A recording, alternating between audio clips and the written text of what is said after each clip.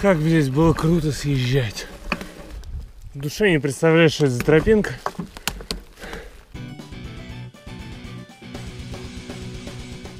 По координатам вычислил, что я все же мимо синей тропы на Долгоруковке ушел. Свернул я искать. А сейчас по координатам понял, что я малость промахнулся. Выхожу напрямую на желтую тропу, которая выходит на синюю, партизанской поляне. И вот натыкаюсь на такую тропинку. Дорожка привела меня к дороге. Скорее всего, это желтая маркированная тропа. Правда, пока я маркеров не вижу, но поворотов я же не с боковой дороги на нее еду. Она, по крайней мере, по всем картам должна быть здесь. Поэтому я буду считать, что это желтая маркированная тропа. Ну, как минимум, она еще в правильном направлении идет. И поэтому поеду по ней. Но к чему это приведет? Ну, как говорится, будет день, будет пища. Мне, собственно, пофиг. Учитывая, что я забыл батарейки для навигатора, я то, что хотел сделать, в принципе, не успею сделать. Поэтому можно поразвлекаться. Ну тут охрененно. Охрененно. Дорога закончилась стояночкой заросшей. Ну хотя там следы были довольно свежие, может это охотничья. И дальше продолжается такая трупа, тропа, по-сельски говорю. Надо поехать посмотреть, что дальше. Интересно же, черт возьми. Очередная переправа у меня на пути. И прям вот хочется пройтись, не снимая обувь. Там по камням теоретически это можно сделать, но вон там возникает момент. Это так называется плавать, так плавать. Вообще с велосипедом по камням проходить можно. И это в принципе несложно. Давайте я сейчас попробую. Если я еще намокну, намокну, ну как бы мой косяк. Оп.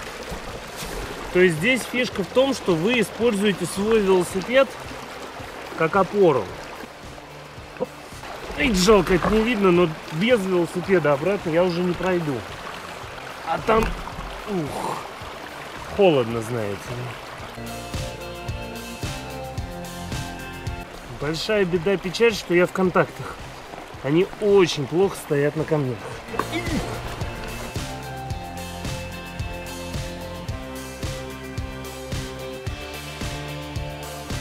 Я прошел не намочившись. Не адская дилемма. Есть одна тропинка, которая там уходит по низу. А есть более явная, идущая вон наверх. С одной стороны, конечно, не хочется хреначить вверх. С другой стороны, терять мне уже нечего. При необходимости стоянки воды тут до жопы. Пойду-ка я вверх. Вспомним 15 год. Что-то как звучит 15 год, 15 год. Фу -фу -фу Какой интересный корень. Не знаю, за что его так жизнь, но выглядит он очень необычно. Тропинка вот она. Неявная, но есть. Значит, куда-то она приведет. Да, сильно я ошибся.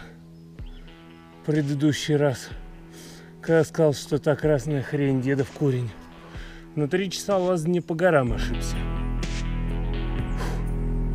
Зато вернулся на синий маршрут. Все замечательно.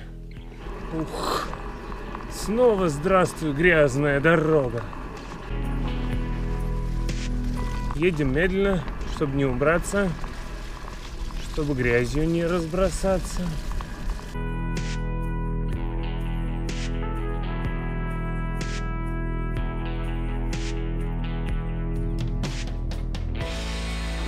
Вот, блин, главный вопрос, уберусь я тут или нет. Не, вообще колеса не держит. Именно колеса, потому что тормоза-то я зажал. Ах, твою ж мать, это я еду на полностью зажатом заднем бьюсь. Фу. Я пешком его даже этот кусок не спустился. Ускользил на. Няшка. Я няшка. Все же помнят, что няшка это болотная тина, жижа, грязь. Я вот похож сейчас на свинью. Давай, тварюга. Я в тебя верю.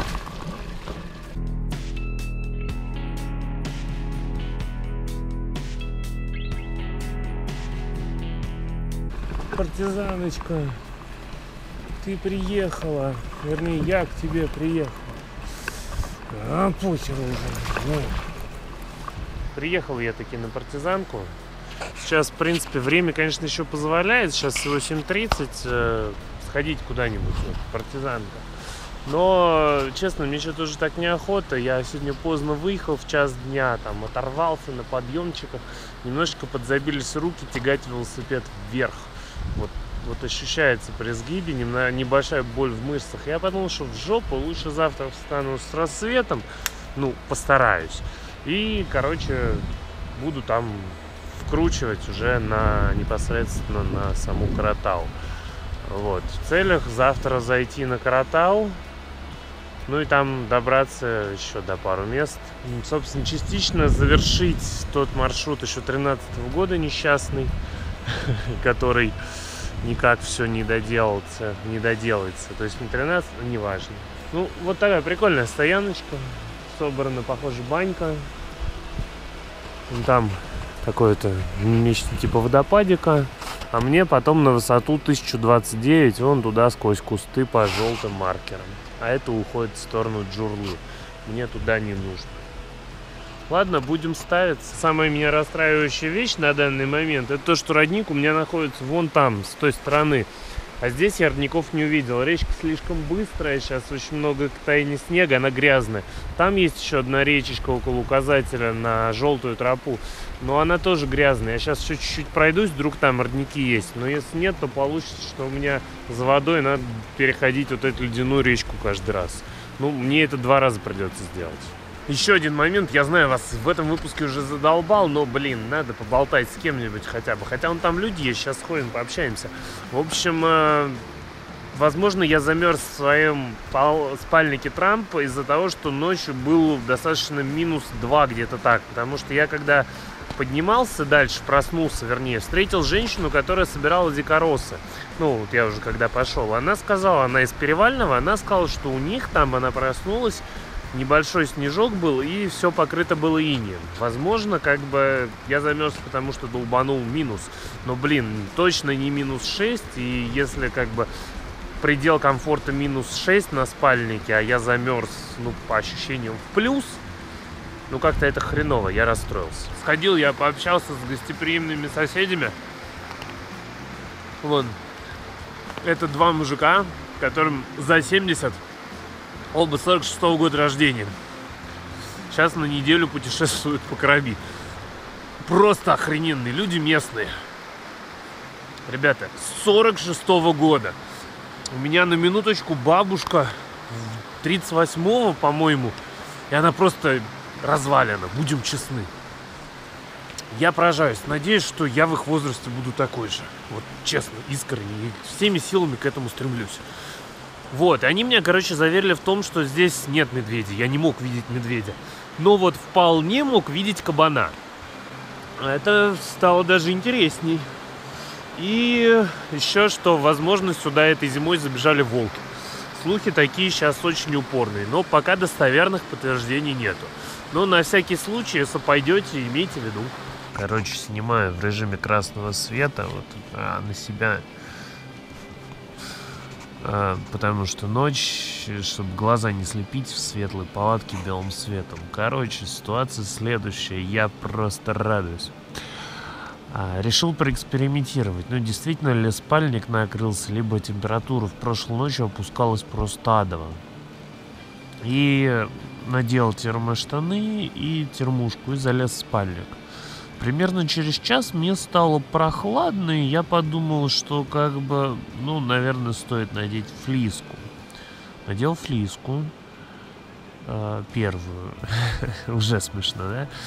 Вот, залез в спальник, и как бы мне не было так, чтобы тепло через час. Я нифига не согрелся, надел вторые штаны. Мне даже начало подколбашивать от холода. Надел вторые штаны и третью флиску. Ну, термушка и две флиски. Вот, и вот сейчас только лег. До этого еще специально выходил дважды, когда пододевался на улицу из палатки. Там плюсовая температура, там не минус, потому что сверху на палатке капельки росы. А, собственно говоря, я теперь понимаю, почему вот этот Трамп э, из серии Adventure, это то еще, мать его, приключение, когда спальник умирает. Просто он реально, я не знаю, что с ним произошло, но он умер от слова совсем.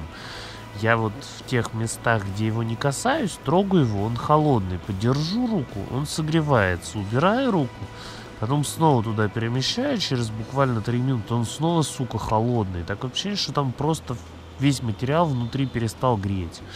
Поэтому, походу, завтра я ломлюсь в Симферополе, приобретаю себе спальник, потому что, ну, одну, там, две ночи, ну, три, там, я смогу еще пережить. Но мне же, блин, до 9 числа тусить на корабе, а это как-то вот вообще не улыбается. Это прям трешачок какой-то, знаете ли. Главное, чтобы... И главная проблема в том, что я не могу попросить жену привезти мне спальник из Москвы, потому что те спальники, которые под эту температуру более-менее рассчитаны, все находятся не, в, не дома в Москве, а в других местах. И она просто не успеет ее, его взять, заехать куда-нибудь. И это, это очень-очень беда, печаль. Просто я в большом расстройстве, короче. Вот они такие внезапные траты в поездке. Но, конечно, Трамп подвел это пипец. Никак в жизни у меня больше спальников Трамп не будет. И вам не советую. Я извиняюсь, что его рекламировал. Причем вопрос только в спальниках. У меня есть другие вещи Трамп, которые отлично работают, но спальник оказался днищем полным. Но самое главное, что это нельзя было проверить сразу. Изначально-то он работал. То есть фишка была в том, что он умер через слишком маленькое время. И я всегда говорю, как только что-то происходит. Поэтому вот имейте в виду, не советую я лично на личном опыте. Это, конечно, единичный случай, но больше на себе так проверять я не хочу.